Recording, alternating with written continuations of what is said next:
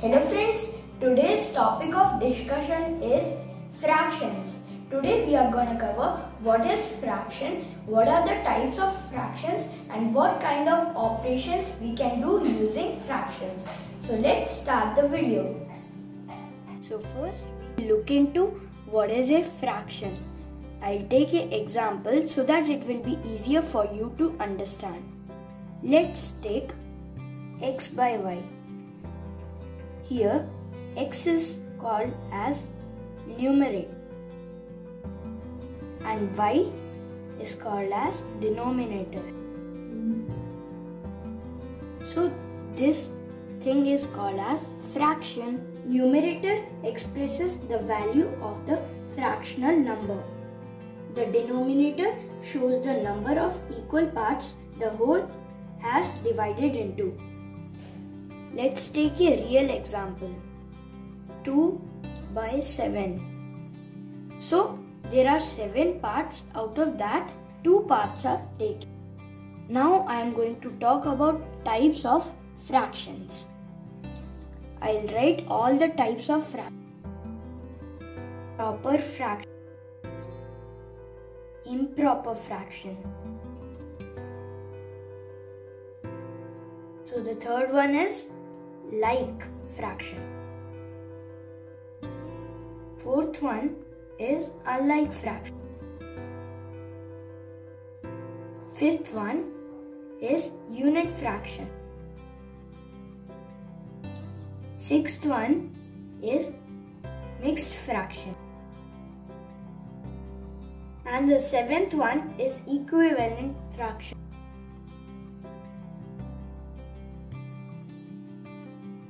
So there are seven types of fractions. Proper fractions are less than one whole. Let's take an example. 8 by 10. Here 10 is called as one whole. Out of 10 parts, 8 are taken.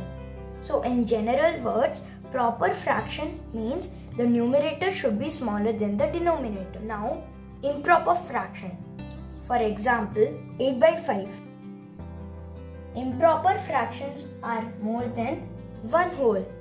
So it means that the number which is in the numerator it should be greater than the denominator. Like fraction means that the denominators should be same as you can see in this example.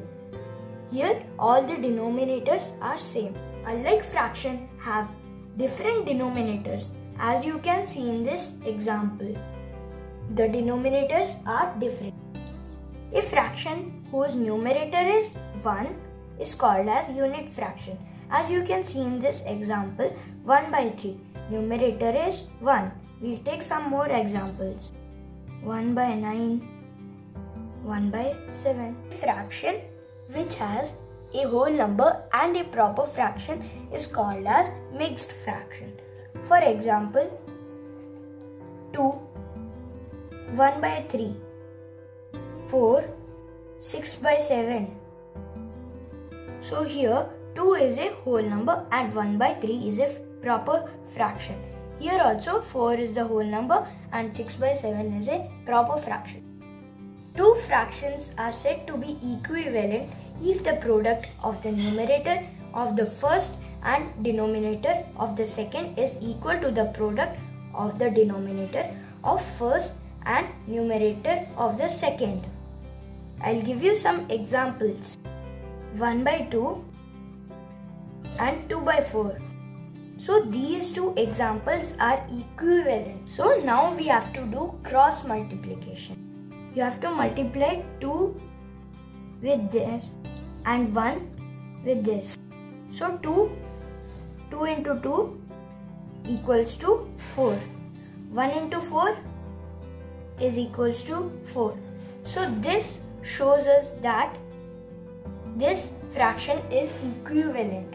The other way to know whether the fraction is equivalent or not is to divide.